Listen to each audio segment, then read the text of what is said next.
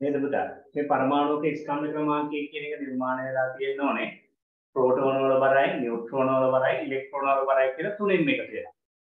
හැබැයි පුතේ ප්‍රශ්නයකට තියෙන්නේ මේ ප්‍රෝටෝන වල බරයි, නියුට්‍රෝන වල බරයි එක හා සමාන වුණාට ප්‍රෝටෝන වල බරයි, නියුට්‍රෝන වල බරයි එක හා සමාන වුණාට මේ ඉලෙක්ට්‍රෝන කියන එක නම් පුතා අතිශය සැහැල්ලු දෙයක්. හරි? මේ ප්‍රෝටෝන එක බරයි නියුට්‍රෝන එක බරයි ආසන්න විදිහට සමානයි. හැබැයි මේ ඉලෙක්ට්‍රෝන එක බර පුතා ප්‍රෝටෝන එක බරින් 1840 එකක්. ඒ කියන්නේ චූටිම චූටි දශම සංඛ්‍යාවනේ. එන්නේ ඒක නිසා දරෝ අපි මියාව නොසලකා හරිනවා. අපි පරමාණුක තියෙන ස්කන්ධය හැදෙන්නේ ප්‍රෝටෝන සංඛ්‍යාව වෙන නියුට්‍රෝන සංඛ්‍යාවෙන් විතරක් කියලා විශ්වාස කරනවා. පැහැදිලිද කියන්නේ? මුල්ම කාලේ පුතා ඔය විද්‍යාව ආරම්භ කරපු මුල්ම කාලේ උගල දන්නවනේ මේ ඉලෙක්ට්‍රෝන එක ස්කන්ධය කියන එකත් අරගෙන පරමාණුක බර 23.0 බිඳුව බිඳුව බිඳුව බිඳුව ඔන්න ඔම ලියලා අවසානට එකක් කියලා ලිව්වොත් බිඳු 28කට විතර පස්සේ එකක්. ඉතින් මේ මේවා එතන මේ මේ මේ මේ පුතේ ඉලෙක්ට්‍රෝන වල බර. මෙහි මේ නේදසම සංඛ්‍යාව ලියලා මේ එකක් කියනවාම කිසිම ප්‍රයෝජනයක් නැහැ. ඒක නිසා මෙයාව මතක කරා. එහෙනම් අපි විශ්වාස කරනවා පරමාණුක ස්කන්ධය කියන එක හැදෙන්නේ ප්‍රෝටෝන ගන්න නෙවෙයි නියුට්‍රෝන ගන්න නෙවෙයි විතරක් කියලා. මෙයා අතිශය කුඩා ස්කන්ධයන් නිසා අතහැර දමනවා. මේ නම් පුතා ස්කන්ධ ක්‍රමාංකය කියන්නේ ප්‍රෝටෝන ගන්නයි නියුට්‍රෝන ගන්න. හරි? එතකොට මැග්නීසියම් වගේ පරමාණුවක් ගැන හිතන්න. මැග්නීසියම් වගේ පරමාණුවක් ගැන හිතන්න. මේකේ ප්‍රෝටෝන තියෙන 12. මේ ප්‍රෝටෝන තියෙන 12. මේ 12ක් කියලා අපි මෙන්න මෙතන ලියනවා. හරි? මෙයාගේ පුතා මේ ප්‍රෝටෝන තියෙන්නේ 12. නියුට්‍රෝන තියෙනවා 13. ඉලෙක්ට්‍රෝන තියෙනවා 12. එතකොට මෙයාගේ වෙන මේ යට 12ක් කියලා ලියපුවාම මේ ලෝකින ඕනම මිනිසෙක් රසායන විද්‍යාව ගැන චුට්ටක් හරි දන්න මිනිසෙක් දන්නවා මේ ලියලා තියෙන මෙයාගේ ප්‍රෝටෝන ගණන කියලා.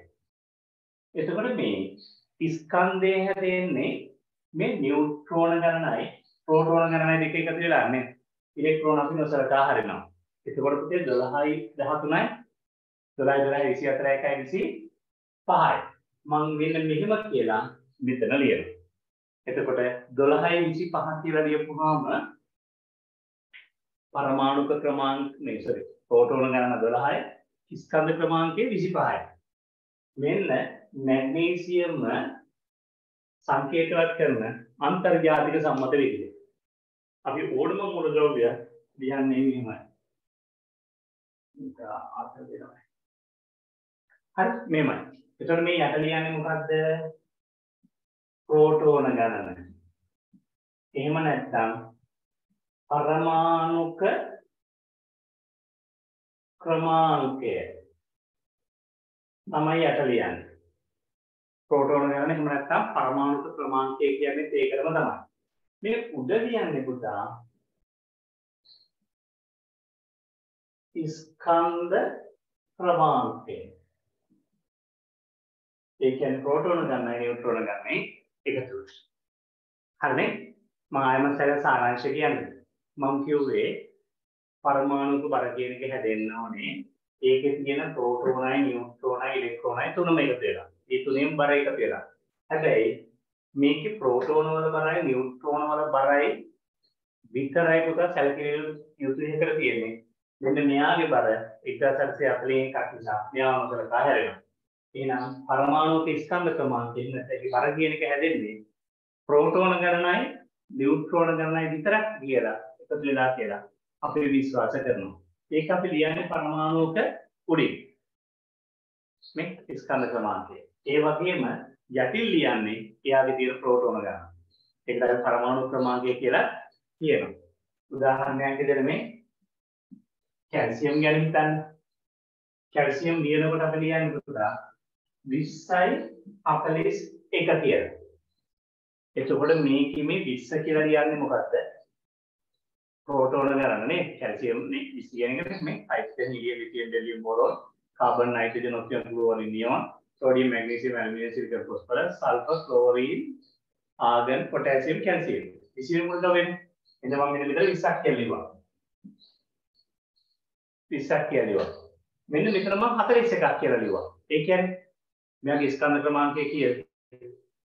41යි ඒ කියන්නේ පුතා මෙන්න මේ 41 කියන එක හැදෙන්න ඕනේ. ප්‍රෝටෝන ගණනයි.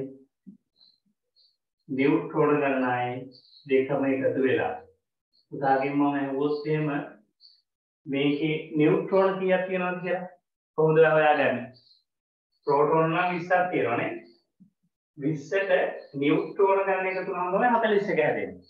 එහෙනම් 20ට කීයක් එකතු වුණාම 41 හැදෙන්නේ 41 හැදෙන්නවනේ 20යි 21ක් එකතු වෙනවා. නේ? 41 හැදෙන්නට ඕන. තේරුණාද? ඉතින් මෙයාගේ උත්තරණ ගන්න 21ක් එනවා. ලියන්න පුතා පළවෙනි තරව දාලා ලියන්න. ඔය තනියම ලියන්න ඕනේ.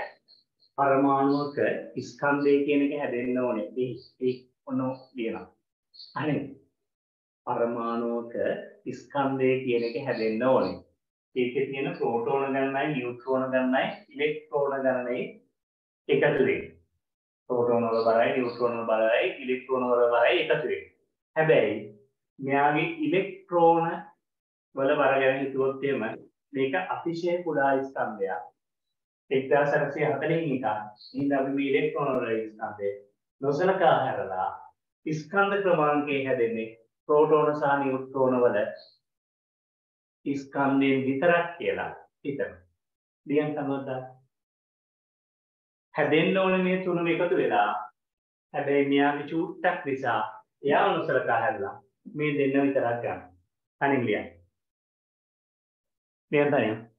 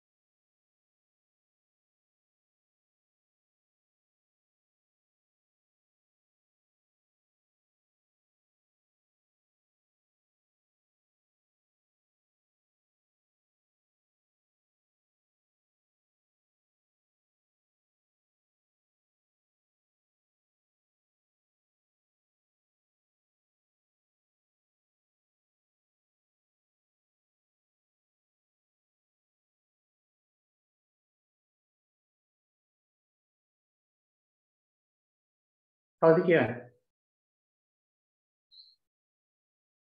හර්ෂේ කියන්නේ? නැත්නම් පස්සේද කියන්නද?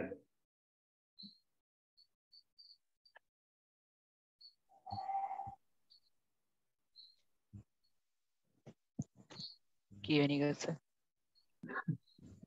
කීවෙනි එකද මම කියන්න දෙන්නේ? පරමාණුක ස්කන්ධය සෑදෙන්නේ නෑස්ටි ඇති ප්‍රෝටෝන නිියවට්‍රෝන සහ ඉලෙක්ට්‍රෝන වල එකතු වෙන්නේ. ඔව්. එහෙත් ඉලෙක්ට්‍රෝන අතිශයින් කුඩා ස්කන්ධයක් අත් කර ගනී.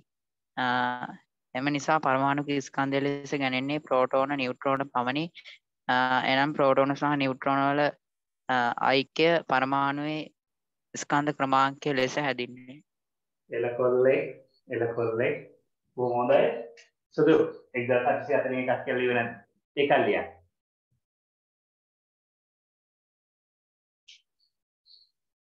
ඒ ඊට පස්සේ මෙයා ලියාගත්ත කොට කරගත්ත ස්කන්ධ ක්‍රමාංකය කිව්වා ලියා ගන්න. ඒ වගේම ඒ සංකේතවත් කරන්නේ මෙසේ. ඒකත් අද බාගන්න.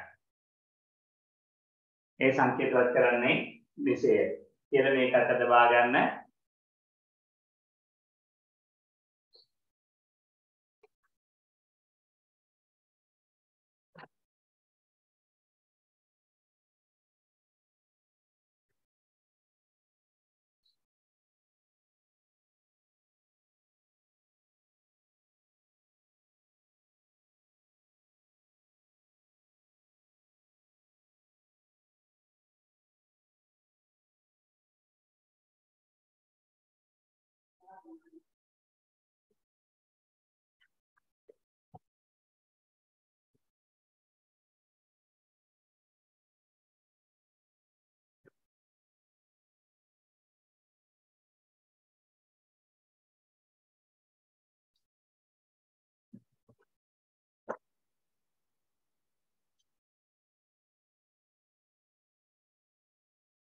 ඒකවල මහත්තුන් වහන්සේ ටික.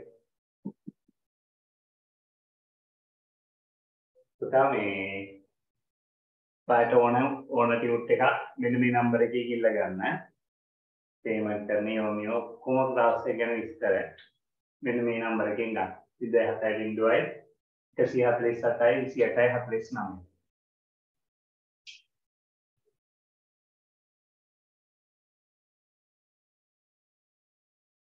හරි. පොඩි ගේමකට යන්න.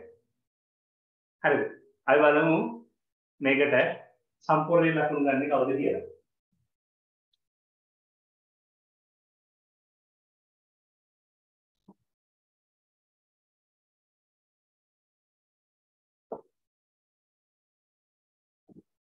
ඉක්මනට මේ ස්ටෑන්ඩ් එක පුරවන්න බබා.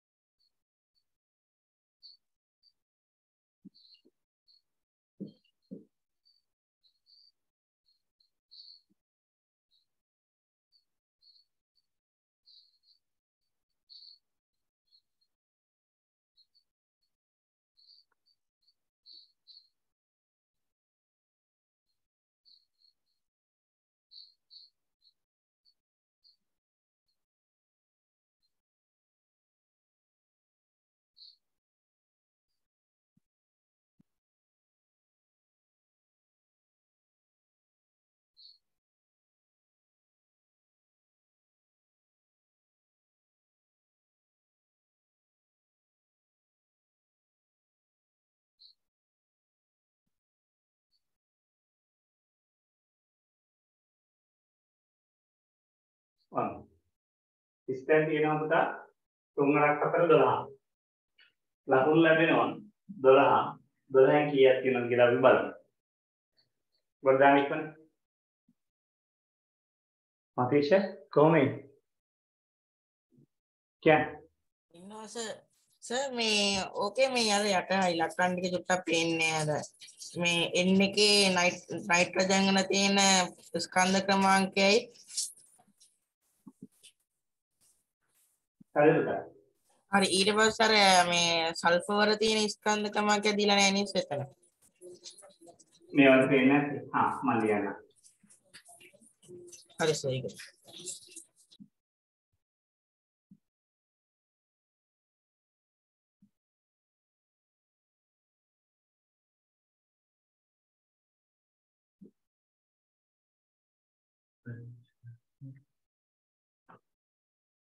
ඉක්මන් කරන්න.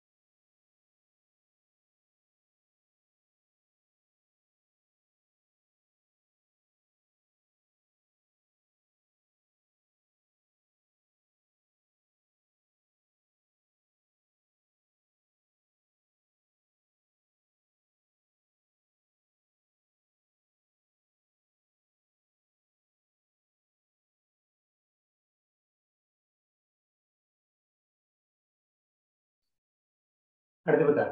ගොඩ. අපි ලකුණු දෙමු. හරි? හරි. ඔයා ඉතින් එයාට අවංක වෙන්න හොඳේ. පුතා සෝඩියම් නේ. ඒතකොට ඉතින් එයා මම ලිව්වත් එක්ක ප්‍රෝටෝන 11ක් තියෙනවා කියලා. කියන්න ඕනේ නැහැ. ප්‍රෝටෝන 11යි. පුතේ 11ට කීයක් එකතු වුණාමද 23 වෙන්නේ? 12ක් එකතු වුණාම නේද? නේ?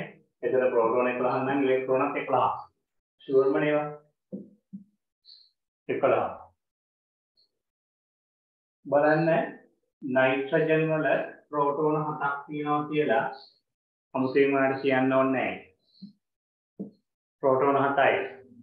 නියුට්‍රෝන පුතේ හතට හතක් එකතු වුණාමයි 14 වෙන්නේ. ඉලෙක්ට්‍රෝන ප්‍රෝටෝන හතක් නම් ඉලෙක්ට්‍රෝන හතක්මයි තියෙන්නට ඕනේ. පුතේ සිලිකන් වල ප්‍රෝටෝන 14යිනේ. ඒක තමයි මෙතන යට ලියලා තියෙන්නේ. 14යි 14යි 28යි 1යි 29යි. මෙන්න මෙතන 29ක් එන්නේ. මෙතන 14ක් එන්නේ ප්‍රෝටෝනයි ඉලෙක්ට්‍රෝනයි එකම සමාන නිසා. සල්ෆවල පුතේ 16ක් නේ. 16යි. 16ට කීයක් එකතු වුණාම 34ක් එන්නේ. 16 16 32යි. 18ක් එකතු වුණාම නේද? එතන මෙතන 16. ප්‍රාණ 10 10 තියෙන අය අතස? එල එල එල එල ඔය තියෙන ලේසි නේ ඉහිල වගේ. ඇත්ත ඇත්ත. මෙයා හරි ලේසි පොත මහා ලොකු කෙමිස්ට්‍රි අමාරු කියලා දැකලවට දැන් පට්ට ලේසි. මේ ටිකෙන් විතර කීයක් ප්‍රශ්න ඇවිල්ලාද කියලා කියනවා කියලා බලන්න යා හොඳයි.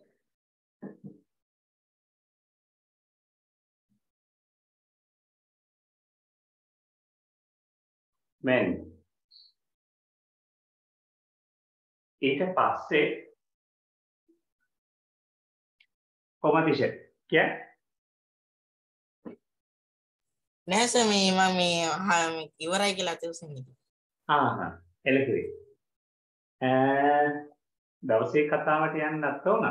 සමස්ථානික ගැන කියලා දෙනවා දවසේ කතාවට ඕකේ අහන්න දැන් පුතේ ඔයා දැක්ක ඕනම පරමාණු කෙනෙක් ස්කන්ධ ක්‍රමාංකය ප්‍රමාණු ක්‍රමාංකය කියලා දෙකක් තියෙනවා නේද ඒක ගැන ඔයා දන්නවා සුදු මේ මෙන්න මෙහෙම මෙයා ගැන චුට්ටක් හිතන්න මේ තියෙන අඟුරු කුට්ටියක් වගේ කාබන් ඔය දරපටයක් පුච්චලා පොඩි අඟුරු කෑල්ලක් තියෙනවා. එහෙනම් ළමෝ මේක හැදිලා තියෙන්න ඕනේ අඟුරු පරමාණු වලින්. මේ අඟුරු පරමාණු නම් මෙච්චර ලොකු නැහැ. මට පැහැදිලි කරන්න ලේසි වෙන නිසා මම ටොට්ටල් ලොකුවට ඇඳගත්තා. නේ මෙන්න මෙහෙම. ඔතේ මම මෙන්න මේ පරමාණුව එළියට අරගන්නම් කාබන්මයි. මෙයාත් එළියට ගන්නම් කාබන් මෙයාත් එළියට ගන්නම් කාබන් මෙයාත් එළියට ගන්නම් කාබන් පුතා මේ මේ වගේ අනිවාර්යයෙන්ම ප්‍රෝටෝන නම් තියෙන්නේ පහ Sebelumnya Jadi kayak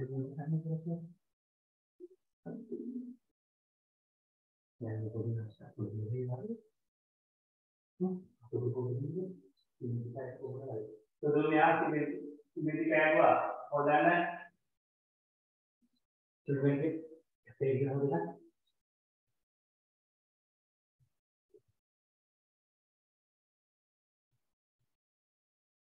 හරිද වැඩි මේ අහන්නකො එතකොට මේ ඔක්කොම කාබන් එහෙනම් මේගොල්ලෝ ගාව ප්‍රෝටෝන නම් හයක් තියෙනවා. ඒක නම් ෂුවර්මයි එහෙනම් මම කාබන් කියලා ලියුවා හැබැයි ඇටි වැඩේ තියෙන්නේ මෙන්න මෙයාගේ නියුට්‍රෝන හයක් තියෙනවා හොඳ. මෙන්න මේ පරමාණුය හොයලා බලපුවම නියුට්‍රෝන තියෙනවා හතක්. මෙන්න මේ පරමාණුවේ හොයලා බලපුවම පුතේ නියුට්‍රෝන තියෙනවා අටක්. මෙන්න මේ පරමාණුව හොයලා බලපුවම පුතා නියුට්‍රෝන තියෙනවා පහක් ඒක මේ මේ හේතුව නිසා තමයි පුතා දැන් මම මතකයි පන්ති කරන අතරේදී මම මගෙන් ගොඩක් ප්‍රශ්න අහුවා නියුට්‍රෝන ගැන නියුට්‍රෝන ගන්න මුඛයට සමාන වෙන්නේ. අනේ මන් දන්නේ ගොලේ. මමත් ඒක දන්නේ නැහැ. එහෙම සමාන වෙනවා කියලා එකක් නම් මගේ පුතේ නැහැ.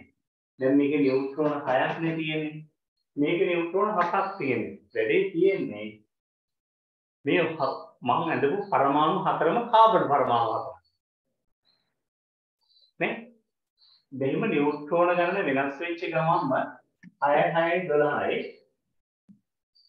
මෙයා මේ 6යි 7යි 13ක් වෙනවා. ස්කන්ධ ක්‍රමාංකත් වෙනස් වෙනවා කියන්නේ. ඒතර මෙතන පුතා 8යි 6යි 14යි 6යි 5යි 11යි. එතකොට මේ එකම අඟුරු කුට්ටිය ගත්තාම මේකේ ඇතුලේ තියෙන පරමාණු හතරක ස්කන්ධයන් තියෙන හතරක්. එතකොට මුල්ම කාලේදී පුතා විද්‍යාඥයෝ මේවා ගැන දැනගෙන හිටියේ නැහැ. පසු කාලේදී තමයි මේවා ගැන විද්‍යාඥයෝට අදහසක් එන්නේ. හොයාගන්න. එතකොට පුතේ ඒගොල්ලෝ බොහොම කදින් අසරණ වෙනවා. කාබන් පරමාණු කියන්නේ කාටද? 6 12ටද 6 13ටද 6 17ටද 6 11ටද කියලා ඒගොල්ලන්ට ලොකු ගැටලුවක් එනවා.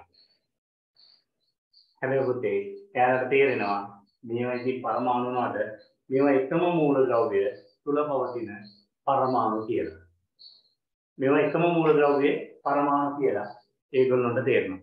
ඒක නිසා මේකට විශේෂ නමක් දෙනවා අයිසොටොප්ස් එහෙම නැත්නම් සමස්ථානික කියලා. එහෙනම් මම මෙහෙම කියන්නම්.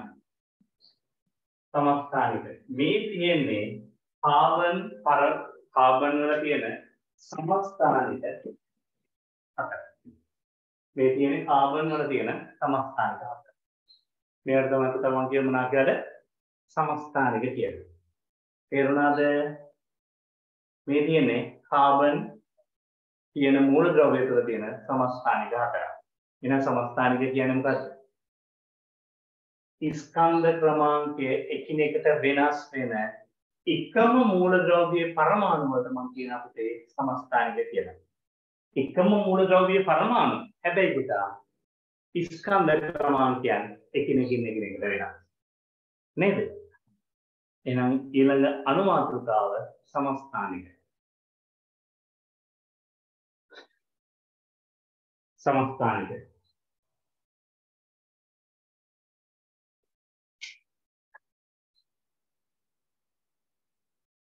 කියන්න ස්කන්ධ ක්‍රමාංකයේ එකිනෙකට වෙනස්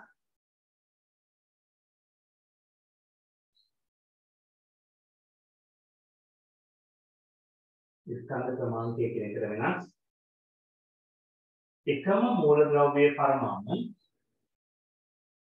ස්කන්ධ ක්‍රමාංකයේ එකිනෙකට වෙනස්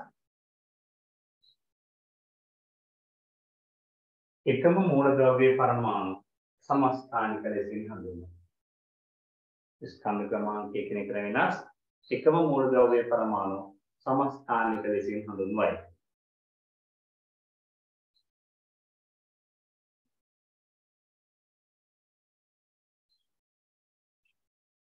සමස්ථානික ලෙසින් හඳුන්වයි. චෝටි ඇඳ ගන්න මේවා සංගාල ඈනින් මදින්න හොඳේ. මේකින් පස්සේ මම ඔයාලට දවසේ කතාවක් කියන්නම්.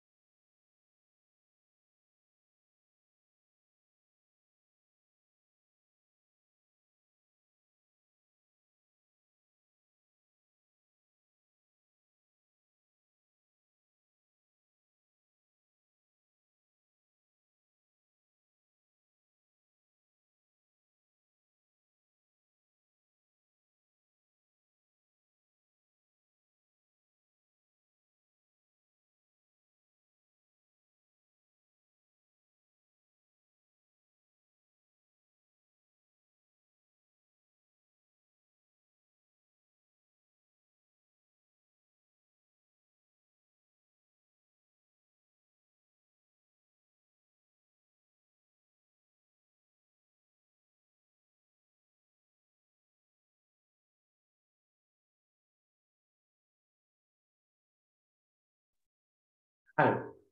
පුතා මේ පළවෙනි සිලබස් එක මෙන්න මේක තේරුණා නේද?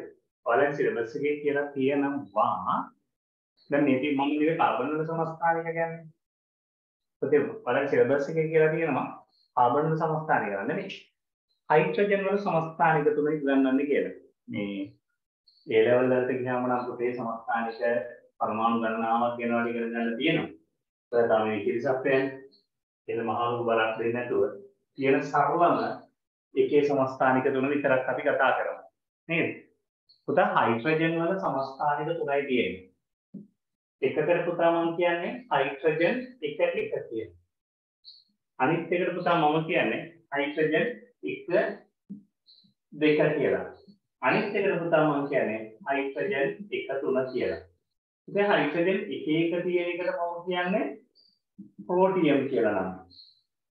මෙයාට මම කියන්නේ ඩියුටීරියම් කියලා. මෙයාට මම කියන්නේ ට්‍රිටියම් කියලා. වඩා හොඳයි ඔයාලට පුළුවන් නම් මේක ලියන්නකෝ. ප්‍රෝටෝන එකක් තියෙනවා. නියුට්‍රෝන මෙච්චරක් තියෙනවා. ඉලෙක්ට්‍රෝන මෙච්චරක් තියෙනවා කියලා මේක ලියන්න. මේකෙදිත් එහෙම ලියමු. හරි. අපි තරවත් ගන්න මෙහෙම ලියමු.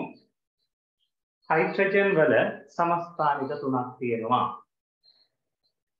හයිඩ්‍රජන් වල සමස්ථානික තුනක්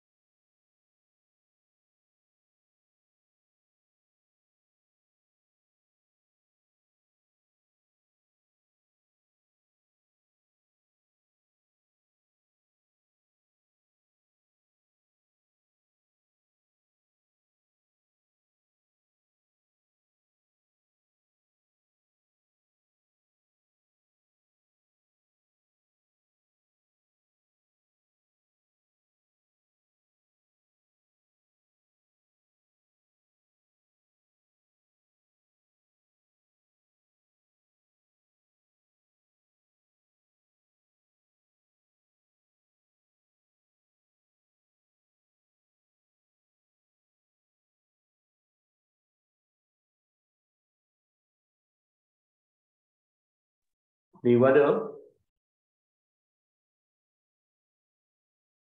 ලිය ලිය ලිය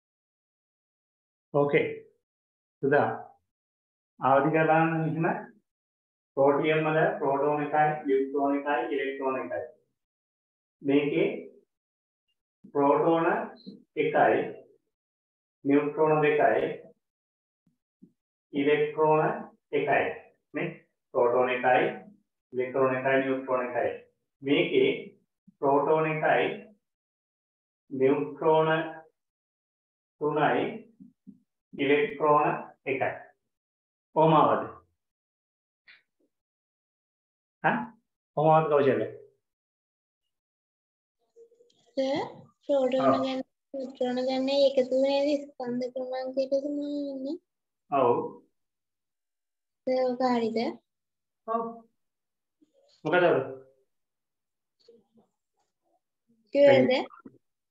ඉතින් මේක අවුලේ එතන නියුට්‍රෝන කීයක් දෙන්නේ බිඳුවයි බිඳුවයි මෙතන? එකයි. එකයි. එකයි එකයි තමයි දෙක වෙන්නේ. මෙන්න මෙතන? දෙකයි. දෙකයි. වැරදා ඒතර පුතා ඔයාලට තේරෙනවද? මේ ලෝකේ සමහර පරමාණු තියෙනවා. නියුට්‍රෝන එකක්වත් නැති. නියුට්‍රෝන බිඳුවක් වෙන පරමාණුවක් තියෙනවා. ඔය ඉතින් ඔළුවේ හොඳට තියාගෙන ඉන්න. ඒවල කාලේ එක හරි. මෙච්චරයි කියන මූලික ටිකට. ඊළඟට අපි ආර්ථික අවබෝධයන් කියන්නේ අද දවසේ කතාවට මම මොකද හරි කියලා දෙන්න ඕනේ. පුතා මම සෝඩියම් සහ පොටෑසියම් වල ප්‍රතික්‍රියා ගැන කියලා දුන්නද පාඩරේ සෝඩියම් සහ පොටෑසියම් වල ප්‍රතික්‍රියා ටික කියන කියලා දුන්නද? කියලා දුන්නා. ජලයට දාපුවම මොකද වෙන්නේ? එයා මේ ටික ප්‍රතික්‍රියා ටික කියන කියලා දුන්නා. ටික දෙන්න කියලා දුන්නා නියමයි න්‍යෂ්ටික අංගන කියලා දුන්නද මම? යුරේනියම් තෝරියම් කියන්නේ ඒ ගැන කියලා දුන්නද? පරමාණු බෝම්බ ගැන කියලා දුන්නද? ඕකේ විශ්වනේ දෙකයි? තව මොනවද ගැන කියලා දෙන්නම් මම? Hmm.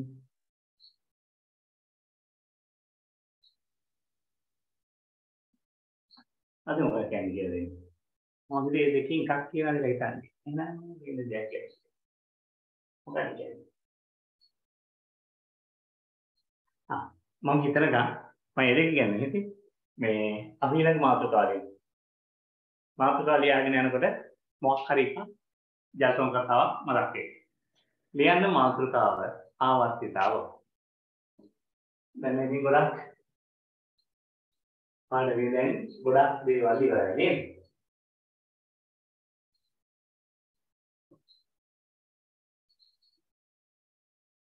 ඒවා ආවර්තිතාව ගෝ කියලා.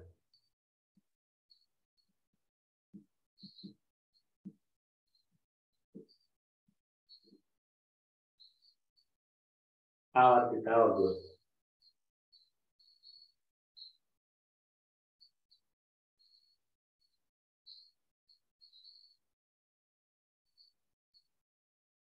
හරි චරි.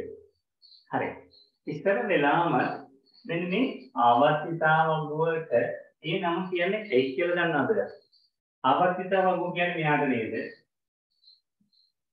අපි මෙච්චර දවසක් ඉතින් පට්ට ගැහුවේ මෙයාව තමයි. මේ මෙයාට මෙන්න මේ මම කොට දෙකක් ගැහුවා. ඒක හරියටම දෙකට බෙදන්න. එන කොටසුත් දෙකට බෙදන්න. ඒ හැම කොටසක්ම දෙකට බෙදපුවාම ගාන්ට කොටුවටක් එන්නේ. එතකොට උඩින් එකයි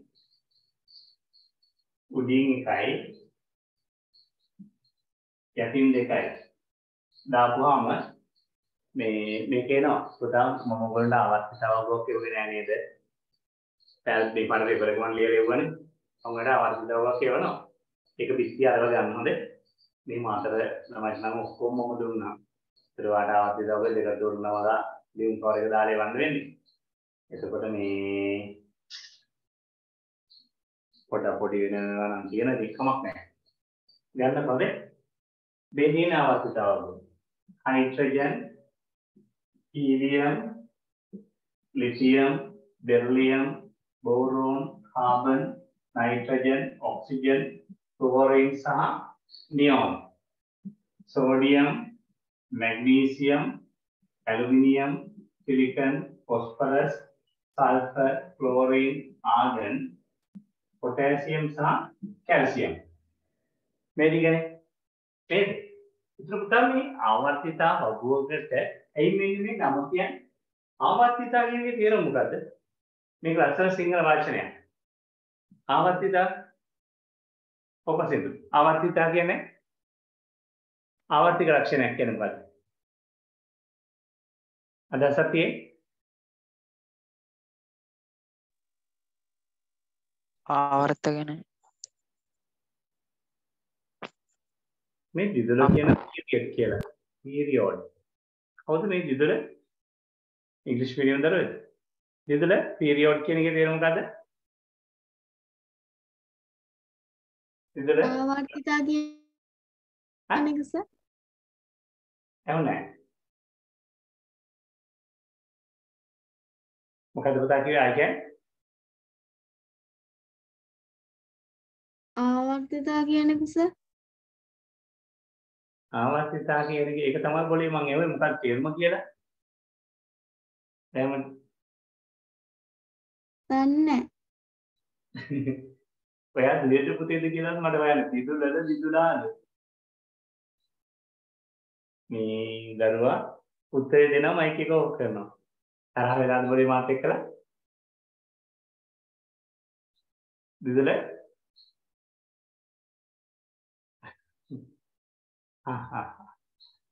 ළමෝ ආ විශ්මය හිටියා නේද විශ්මය අතේ ඉස්සුවා නේද විශ්මය කතා කරන්න බැරුව ගියා කාලෙකින් කියලා කිව්වා. කොහොමද දැන් පන්ති ආගන්න? ආවා සර් කතා කරේ නෑ මම. සර් ඉතින් කතා කරේ නෑ මට ඒ කතා කරන්නේ. කැමරා ඔෆ් කරන්න නෙමෙයි. නෑ ආහා හා. කියවි ඔබ ගෙම්බියේ. මොකද ආවර්තිත ලක්ෂණයක් කියන්නේ? හඩහට පේලිය ආවර්තනයට වෙන් කරලා තියෙන හින්දා ඔරු ගෙඩියේ. ඔරු කියන මේ ගෙඩිය දෙකන. විශ්වින මං කියව විශ්වින මං කියලා දීලා තියෙනවා හොඳේ. කියවුරුද්ද? ඈ? සම්දති සම සමර වේද? ඔව් සර් මොකද මංජෝ හේතුව? සිදුවීමක් නැවත නැවත සමාන කාලවලදී සිදුවෙන. ඉතින් ඇයි අතින් නැත්තේ? ෂුවර් ඉස්සර කියලා දෙන්න නේද? ඔව් සර් ඔව්. ඒ කවුරුද ටීචර් කෙනෙක් ඉන්නවනේ යා හොඳ ටීචර් කෙනෙක් කරේ. එයාගේ ගුරුතුමියව හෝ ගුරුතුමාව කරලා කියන්නේ එයා ෂෝක් කෙනෙක් අනිවාර්යෙන් හරි. හරි. චුලි මේ ආවර්තිත ලක්ෂණයක් කියලා කියන්නේ මොකක් හරි සිදුවීමක් නැවත නැවත නැවත නැවත සිදු වෙනවා නම් පුතේ ඒකට තමයි අපි කියන්නේ ආවර්තික ලක්ෂණයක් කියලා. උදාහරණයක් විදිහට අලුත් අවුරුදු උදා හිතන්නකෝ. මේ අප්‍රේල් 17ට අලුත් අවුරුදු උදා වෙනවා නේද? ඊට පස්සේ ඊළඟ අවුරුද්දේ අප්‍රේල් 14ට තියෙන අවුරුදු අවුරුදු උදාව. ඉතින් හරියටම දවස් 365න් දවස් 365න් දවස් 365න් මේ අලුත් අවුරුදු උදා වෙනවා නේද? ඉන් දෙක ආවර්තික සිදුවීම. මෝඩයාගේ දවස අපේ දර්ශක දවස මේ ආවර්තික සිදුවීමක් නේද? නැවත නැවත නැවත නැවත නැවත නැවත හැම අවුරුද්දකට සැරයක්ම එනවා. ඒක නිසා ඒක ආවර්තික සිදුවීම. තා මොනවාද? රඹුටන් හැදෙන එක ආවර්තික සිදුවීමක්. මේ දවස්වල අපේ පැත්තිවල ගස්වල පොඩි පොඩි රඹුටන් ගෙඩි තියෙනවා. ඉතින් ඔය ටික ගෙඩි ටික ඉදිරිය කාලා ගියයින් පස්සේ ආයෙ අවුත් ලබන අවුරුදු තමයි රඹුටන් හැදෙන්නේ නේ. අන්න ඒ ඔයාගේ උපන්දිනේ ආවර්තික සිදුවීම. කාන්තාවගේ උසප් චක්‍රය දින 28 28ට නොකඩවා සිද්ධ වෙනව නේද? අන්න ඒක ආවර්තික ලක්ෂණයක්. එතකොට අන්න එහෙම පුතේ මොකක් හරි සිදුවීමක් නැවත නැවත නැවත නැවත සිදු වෙනවා නම් සමාන කාල පරාන්තර තුල ඒකට පුතා අපි කියන්නේ ආවර්තික ලක්ෂණයක් කියලා. ඒකයි මේ ආවර්තිතාවකට ඒ නම කියන්නේ. තේරුණා? චොටි මේ දවසේ කතාවට මෙන්න මෙයා වල්ල ගන්න හිතනවා. සල්ප ගැන මොනවාද මගේ පුතා සල්ප ගැන දන්නේ? මහා මේ දුක්බර සීන් එකක් තියෙනවා. සුපුලි මොනවාද සල්ප ගැන දන්නේ?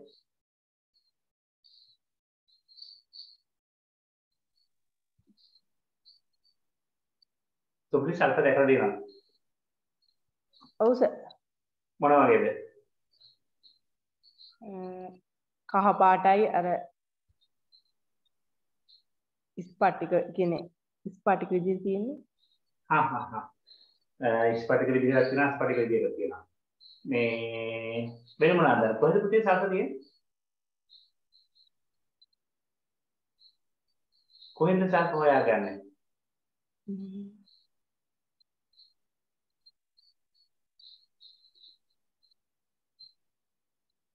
තරුෂිලගේ ගෙදර සල්ෆර් තියෙනවද තරුෂි? පළ ගැස්සලා හැදෙනවද? ඈ තරුෂි? එදර සල්පතිනවා ඈ?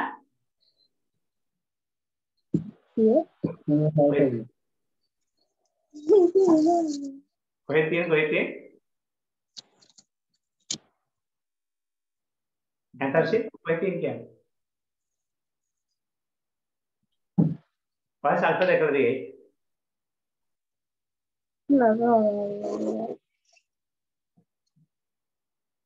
මොන ගස්වලද සල්ෆර් හැදෙන්නේ කියන්නේ?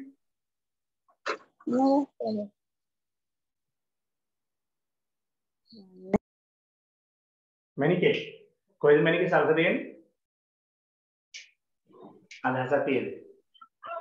විද්‍යාගාර වෙනස හරි බං විද්‍යාගාරවලට එන්නේ කොහෙන්ද කියා අපි ඈ? ගස්වල හැදෙනවද කොහෙන් බූර්ලා ගන්න කොහෙන්ද ගන්නේ? දන්න. බුදා මේ සොයාමිත් කාදේ සොයාමිත් කොහෙන්ද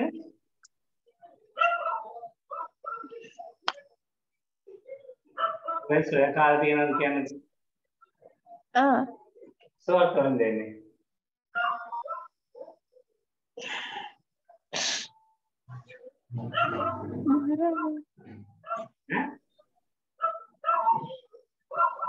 අනේ දන්නේ ඔව් පස්සින්ද මේ ගෙන්දගම් වල තමයි සල්ෆර් කියන්නේ. විමන්දේ. ඔයා කියන එක හරි පුතා. එහෙන් තමයි සල්ෆර් එන්නේ. ඔව් ඔව් ඔව් ඔව්. පුතේ සල්ෆත් එක්කලා බැඳලා තියෙන අතීතේ මේ ගැන කතාව බොහොම මේ දුක්බර දෙයක් ළමයි. අපි සල්ෆර් බොහොම බහුලව යොදා ගන්නවා පුතේ. ඔය දිවීරනාශක විදිහට ප්‍රධාන වශයෙන් ත්‍යාගයන්ගේ මේ අලුවන් තියෙනවා නම්. ඒ අලුවන් විනාශ කරන්න යොදා ගන්නවා මයික්‍රෝල් වගේ ක්‍රීම්. මයික්‍රෝල් කාණ්ඩේ ක්‍රීම් යොදා ගන්නවානේ සමය ගානේ. ඒ ඔක්කොම පුතේ දිවීරනාශක. කියන ඔය අලුවමක් හැදෙන්නේ දිවීරයක් ඉන්න. ඒක විනාශ කරන්න යොදා ගන්න දිවීරනාශක බහුතරයක් හදන පුතේ සල්ෆර් කියන මූල ද්‍රව්‍ය යොදා ගන්න.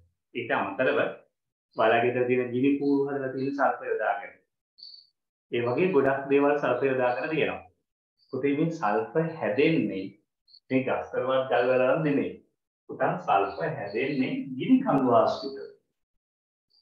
ඉන්න මෙහෙම තියෙන ගිනි කඳු ආශ්‍රිතව තමයි ළමයි ඔය වියට්නාම් වල එන්නේ තායිලන්ඩ් වල වගේ තැන් තැන් වල ළමයි ගිනි කඳු තියෙනවා. මේ ගිනි කඳු වල තමයි ළමයි මේ සල්ෆර් කියන දේවල් නිර්මාණය වෙන්නේ. ඒතකොට පුතේ මේ ගිනි කඳ වල මේ දැනුව වෙන්න මෙහෙම ගිනිගෙන දැවෙනවා නම් ගිනි කඳ කුපුරලා නෙමෙයි. හැබැයි ළමයි මේකේ තියෙන රස්නෙට මේ මේකේ දැනුත් දුන් දදා තමයි තියෙන්නේ. ඒතර මේ ගිනි කඳ වලින් පිට වෙනවා පුතේ සල්ෆර්. එතකොට මේ ජීවත් වෙන මිනිස්සයෝ පාන්තිපුතේ සල්ෆර් දාගෙන රබර් පොල් කනයි ඉස්සර. ඔය දෙක ගන්නකොට ටයර් එකේ කරගන්න රබර් ගෑන්, රබර් පැටි කරගන්න රබර් ගෑන්. ඒව ගොඩාක් හොඳ ගතිගුණ තියෙන රබර් නේ. සාමාන්‍ය රබර් වලට වඩා ගොඩාක් පොලිටිව්. ඒවා හදන්න පුතේ සල්ෆර් එක්කලා රබර් මිශ්‍ර කරනවා.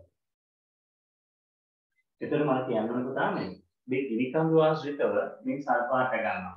මේ ගම්මානවල ජීවත් වෙන අහිංසක මිනිස්සු මේ සල්ෆර් කැඩීමට මේ ගිනිකඳු තරණය කරනවා. ඒතර පුතේ මේ සල්ෆර් අර අධික උෂ්ණත්වයක් නිසා ගිනි අරගෙන පුතේ මෙන්න මෙහෙම සල්ෆර් ඩයොක්සයිඩ් දුමාරය පිට වෙනවා. මේ සල්ෆර් ඩයොක්සයිඩ් දුමාරය කොච්චර භයානකද කියන එක කියනවා. ඉස්සර පාඩම් කරත් අපි හම් වෙනවා. සල්ෆර් ඩයොක්සයිඩ් දුමාරය වතුරට යවපුවාම පුතේ මෙතන හැදෙන සල්ෆියුරික් අම්ලය H2SO4 අරගෙන කට්ටිය තරහ ගියාම ඇසිඩ් ගහනවා කිය ගන්න ඒ සල්ෆියුරික් අම්ලය හරි ඒක හදාගන්නේ සල්ෆර් ඩයොක්සයිඩ් වායුව ජලය දිය කරලා දොර පුතේ ඔයා හිතන්නකෝ. මේක දිගේ මිනිස්සු නගිනවනේ. ඒ සල්ෆර් ඩයොක්සයිඩ් ගොඩවල් අතරින් නගිනවා. ඒකට හුස්ම ගන්නදී පුතේ ඒගොල්ලෝගේ නාසය දිගේ. ඒ සල්ෆර් ඩයොක්සයිඩ් වාතය පෙනහල් වලට යනවා. එතකොට පෙනහල් වල තියෙන තෙතේ දිය වෙලා පෙනහල් ඇතුලේ සල්ෆියුරික් අම්ලය හදනවා. එතකොට නහය උස්සලා සල්ෆියුරික් අම්ලය වැළුවා වගේ තමයි. මාරම භයංකාරයි. ඉතින් මේ අහිංසක මිනිස්සු ඩොලර් එකක් දෙකක් ගන්න. රුපියල් 300ක් හොයන්න මේක දිගේ නගිනවා. ඉතින් අවසානයේ පුතේ මේගොල්ලෝ දරුණු විදිහේ පෙනහළු ආබාධ වලින් අඩුවරකටද නේද? මේ බලන්නකෝ.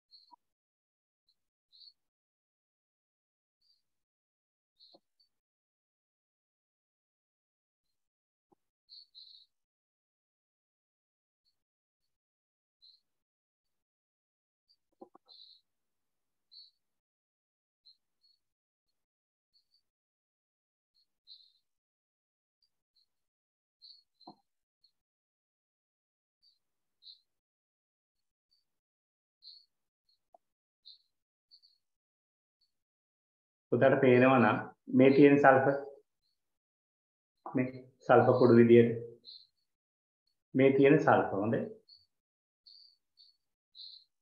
එතකොට මේ සල්ෆර් හටගන්නේ මම අර කිව්වා වගේ දිවි කඳුව ආශ්‍රිතව.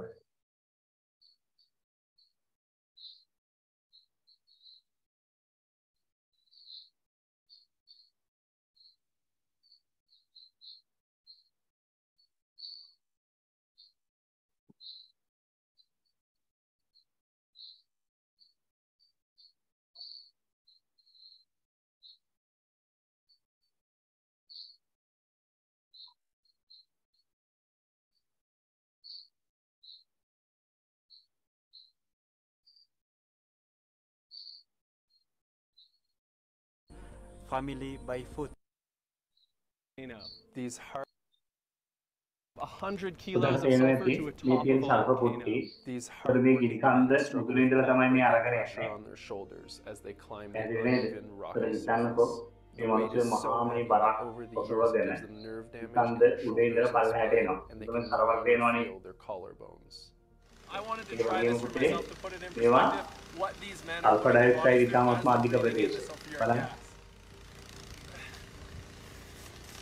gas. I can't even get off the ground.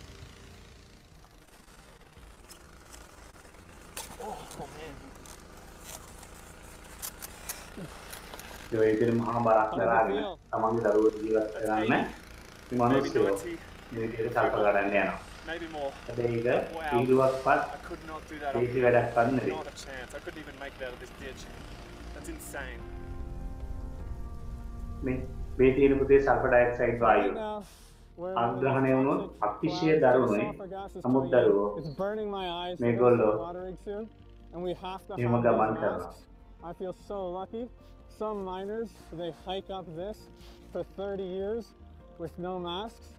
They get really bad respiratory issues, and unfortunately, a lot of them in their 40s and 50s, they actually pass away because they've done so much respiratory damage from this toxic gas. Sulphur dioxide वायु को Hello, uh, my name is Coco. I was a minor before. When you wake up in the morning, do you cough? Yeah. Do you cough every day? Yeah, every day.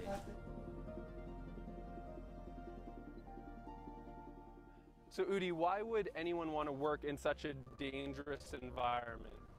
Uh, because they don't have uh, education, so that's why they're working in, to be minor here uh, for money for the family.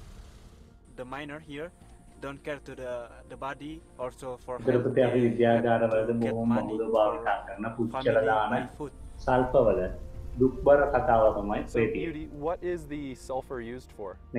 මට එකම දෙයයි for දැනුනේ ළමයි. මේ මිනිස්සු මේ හම්බ කරන්නේ මේ දහදුක් දිනෙන්නේ. ඒගොල්ලන්ට විතරක් කන්න නෙමෙයිනේ. තමන්ගේ ගෙදර පඩිකින්න පොඩි උන්ගේ පඩිකින්න නිවන්න තමයි මේ දේවල් කරන්නේ. පුතේ තාත්තලාට ඔය වගේ දේවල් නෙමෙයි. ඔයිට වඩා දරුණු දෙයක් හ්ම්, දරුණු දේවල් නම් තමන්ගේ දරුවෝ වෙනුවෙන් අනිවාර්යෙන් කරන්න පුළුවන්. තාත්තලා එහෙම. නේ? හරි. මම ඒකයි මේ සල්ප ගැන කතාව කිව්වේ. හරි. තේරෙන ටික විශ්වාස කරනවා. ඕකේ. අපි ආයෙමත් සැරයක් පාඩමට එනවා. මේ තියෙන පුතා ආවර්තිතාවක් ඕනේ. ඒ ආවර්තිතාවකුවේ මෙන්න මේවා. මෙන්න මේක මෙහෙම ගැන හිතපුවම මේවට මං කියන පුතේ කාණ්ඩ කියලා. පළවෙනි කාණ්ඩේ, දෙවෙනි කාණ්ඩේ, තුන, හතර, පහ, හය, හත්වෙනි කාණ්ඩේ, අටවෙනි කාණ්ඩේ කියවල බිඳුවෙනි කාණ්ඩේ. මේ විදිහට පුතේ මේ එක එක කාණ්ඩ තියෙනවා. මෙන්න මේ පැත්තට තියෙන ඔක්කොම අපි කියන පුතා මොනවද කියලාද? කාණ්ඩ කියලා. මේ පැත්තට තියෙන ඔක්කොමටම අපි කියන්නේ පුතේ ආවර්ත කියලා. එතකොට මේ මේ මේ තියෙන පළවෙනි ආවර්තය, දෙවෙනි ආවර්තය, තුන්වෙනි ආවර්තය, හතරවෙනි ආවර්තය. ඒතර මම මෙන්න මේ පැත්තට තියෙනවට කාණ්ඩ කියන්නම්. මෙන්න මේ පැත්තට තියෙනවට මම කියන්නම් ඔක්කොම ආවර්ත. ආවර්ත. මේ පැත්තට කාණ්ඩ, මේ පැත්තට ආවර්ත. ඒතර උදාහරණයක් විදිහට පුතේ මේ ක්ලෝරින් කියන්නේ නේද? ක්ලෝරින් කියන දරුවෝ 1 2 3යි. තුන්වෙනි ආවර්තයේ හත්වෙනි කාණ්ඩයේ මූල ද්‍රව්‍යය. හරිනේ? ගොඩදාන සංගාලනයේ කඳගෙන හොඳ පුතා වගේ ටිකක් ලොකුවට ඇඳ ගන්න ඕන. ඇඳගන්න සංගාල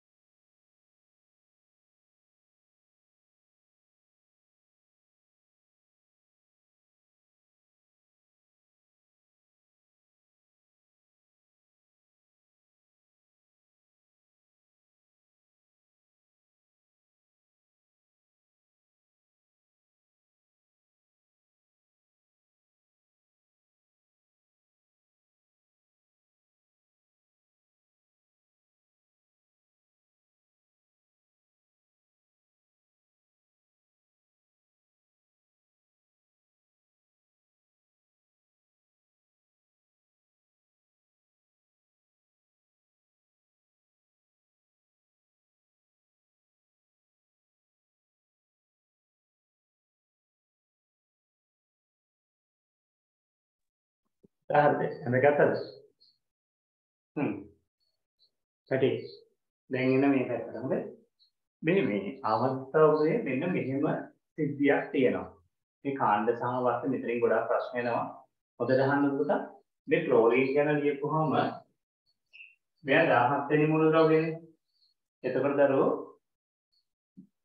2යි 8යි 7යිනේ 2යි 8යි 7යි අවසාන කවචේ ඉලෙක්ට්‍රෝන හතක් තියෙන්නේ ඒක නිසා පුතා මෙයා හත්වෙනි කාණ්ඩයේ මූලද්‍රව්‍ය වෙනවා ඒ වගේම 1යි 2යි 3යි ශක්ති මට්ටම් 3යි තියෙන්නේ ඒක නිසා මෙයා 1යි 2යි 3යි තුන්වෙනි ආවර්තයේ මූලද්‍රව්‍යයක් වෙනවා එතකොට මේ වගේ ඉලෙක්ට්‍රෝන වින්‍යාස ලියලා පුතේ ඕන විදියට මේ කාණ්ඩයේ ආවර්තය අපිට කියන්න පුළුවන්.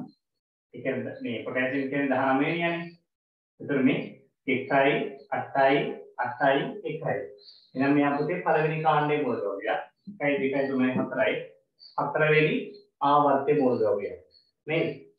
ඒක නිසා මේ මූලද්‍රව්‍ය දෙකක් ලියා ගන්න ඉස්සලා මෙහෙම කියන්නකෝ. දැන් ඔයාලට මම දුන්නොත් එහෙම x කියන මූලද්‍රව්‍ය පුතා x කියන මූලද්‍රව්‍ය 16 වෙනියක්. ඔයාගෙන් අහනවා කාණ්ඩයේ ආවර්තය. හරි ලේසි පුතේ.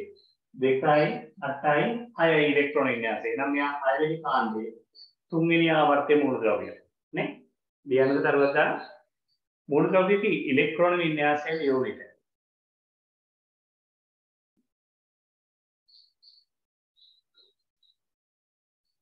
ද්‍රවික ඉලෙක්ට්‍රෝන වින්‍යාසය ලියව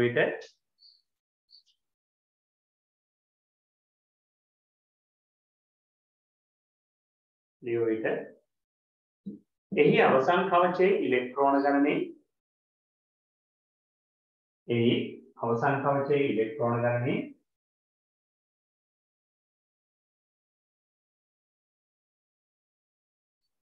එහි අවසන් කවචයේ ඉලෙක්ට්‍රෝන ගණනේ.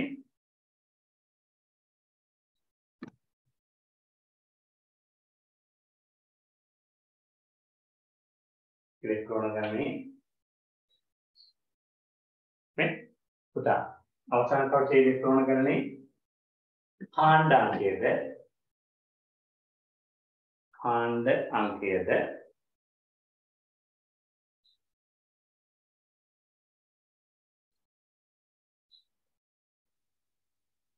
කාණ්ඩ ගණ කාණ්ඩ අංකයද ශක්ති මට්ටම් ගන්නේ. ශක්ති මට්ටම් ගන්නේ. ශක්ති මට්ටම් ගන්නේ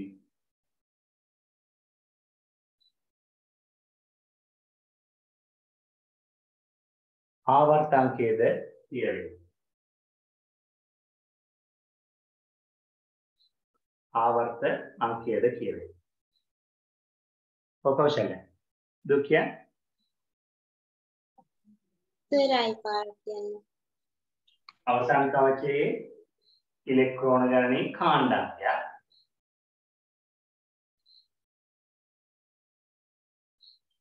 කාණ්ඩාංකය ශක්ති මට්ටම් ගණනේ ආවර්තංකයක් කියවෙනවා. පුතේ 1යි 2යි මම නම් දෙකක් ලිව්වා. ඔයත් මම ලියපු දෙක අරින්න වෙන ඒවා දෙකක් ලියන්න. දැන් මේක තහවුරු වෙන නිසා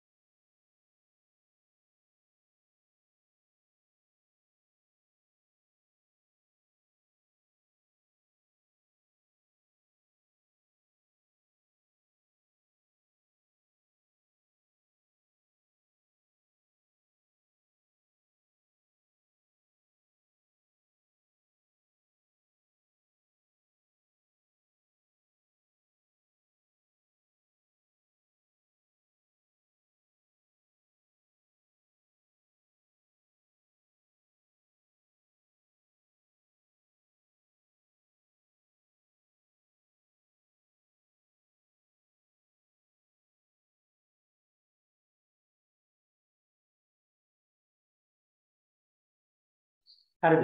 මේ ටික කොට දාගත්තානේ ඕකේ අපි මෙතන ඉඳලා යමු. පුතා මේ අපි මතකද පන්තියක් කරා බ්‍රහස්පතින්දා උදෑසනට එක්ක මේ හතට කරානේ අපි ලබන සතියේ අපේ ඉඳලා අටහමාර වෙනකම් උදෑසනට කරදරයක් නොවන විදිහට පොඩි වෙලාවක් අර ගන්නවා හොඳේ. ඔය සිත්තේ ඒකට වෙන පන්තියක් දෙන්න.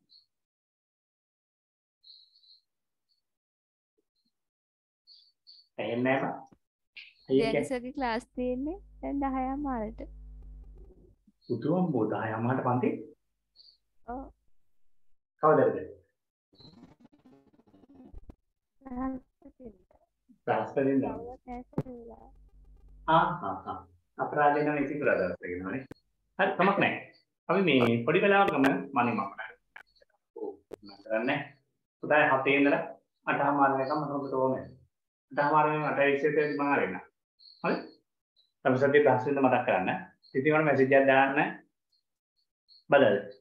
පොඩ අමතකුණුත් තියෙනුද තියෙන වැඩත් එක්ක. හරි. ජය වේවා. අපි හම්බෙමු. සුසර්ණයි